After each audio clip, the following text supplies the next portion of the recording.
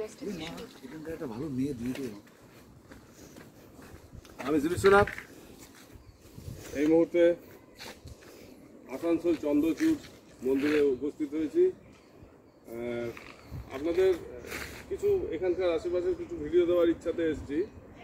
আর আজকে আমার এইভাবে চন্দ্রচূড় মন্দিরে আমি বলেছিলাম আজকে আসব। আজকে হচ্ছে কত তারিখ? সাতাশ আঠাশ, আজ আঠাশ।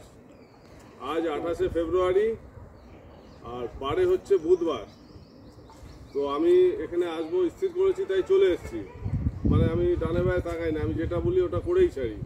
তো সেই হিসাবেই আমি এখানে চলে এসেছি। আর একটা কথা ক্লোজ আপ ক্লোজ আপে এসো। আর একটা কথা আমি আমার প্রিয় দর্শকদের বলতে চাই। স্বনির্বন্ধ অনুরোধ, আপনারা যারা মহিলা বা নারী, আমি সম্মান করি সবাইকে, তারা প্লিজ দয়া করে আপনারা যারা মেয়েরা, মেয়েদের নামেই কমেন্টস করুন।